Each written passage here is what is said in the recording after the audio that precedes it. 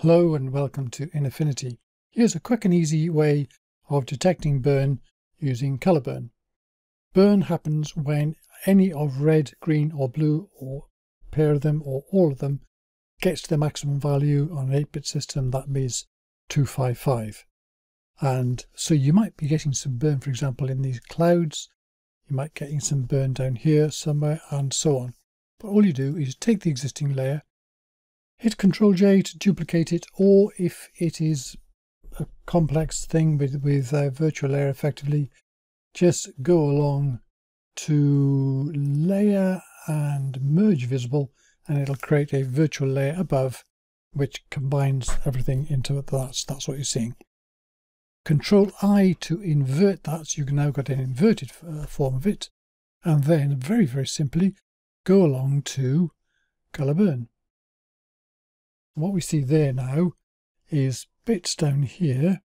And these, as you get in closer, you see other bits. So let's go into this bit here. So we go into the yellow. What's the, the yellow showing us? Well, if I turn that off and drag the pipette into here, what I see is red and green are 255 and blue is 253. Now the red and green are at their maximum, they're burnt out. And red and green together make yellow. So you can see from the colour what it is. So where you got something like a blue there, that's because the blue is maxed out, that's green maxed out, and, and so on. And when you've got the combinations, then you'll see how they are. So Control 0 to go back out again, and turn that off, and you can then and just delete that layer.